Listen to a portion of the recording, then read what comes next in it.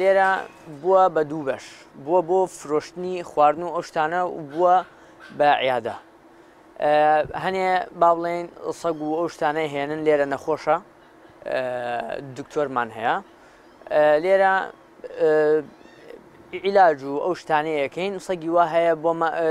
با بڵێن حالی کە زۆر خەتەر دەبێت لێرە دەمێنێتەوە لە ژێر چاودێری تا با بڵێن بۆ ماوەی یەک ڕۆژ بۆ دوو ڕۆژ بۆ سێ ڕۆژ.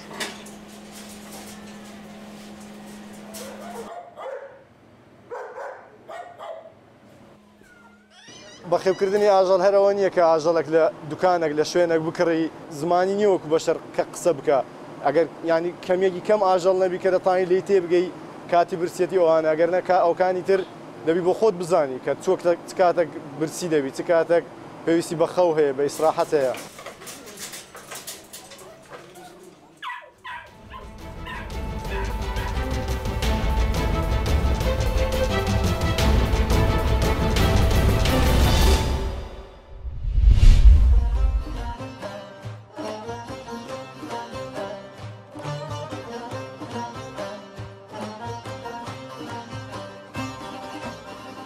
ئێستا لە ئاستی دنیا فیسیڤالە جیهانیەکان بە ئۆنلاین دەڕوە ئەم فیسیڤالی ئێمە شتا ڕادەیەک سیمایکی نێودەوڵەتی وەرگتووە بۆیە هەوڵماندادانە بڕین و ئەم سیستەمە بەکاربێنین کە خۆشببختانە رودا آه، حوت گرروپ نمایش دەکە و ئێمە ئەم فیسیڤالە بە یەکێک لە چالاکی هەرە گرنگەکان دادنین کە پێمان وایە لە ڕێگای ئاڵوگۆری کللتوریەوە دەتوانین گەشەی زیاتر بە گواری فەرهەنگی و کۆمەڵایەتی بدەین و لاستاج ئێستاشدا لە ئاستی دنیا آه، مەسلەی ئاروگۆری کەلتوری و لێک نزیکبوونەوەی کللتورە جیاوازەکان وەک میکانیزمێک بۆ ئاشتی و پێکەوە ژیان میتۆدێکی جیهانیە بۆیە کردومانە تا ئامانجی سەرەکی سنتەرەکەمان و ساڵانە وەگنەری تێک ئەم فستیڤاڵی پێنجام بدن.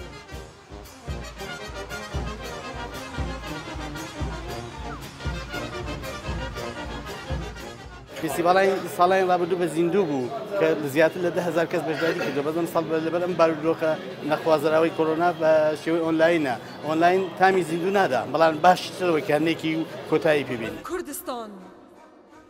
ئەی دلبەرە نازک و نازدار پرچەبوونەتە بەس نەبوو بدەستی ئا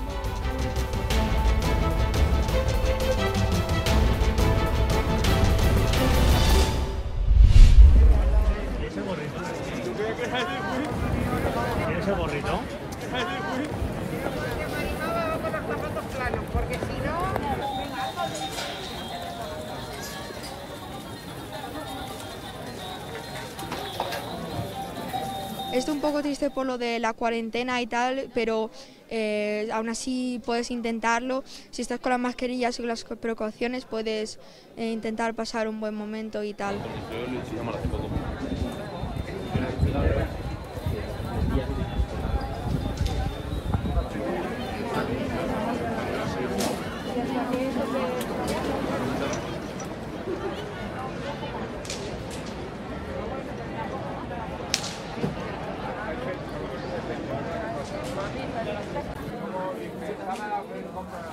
Pues es un poco diferente a las navidades de otros años.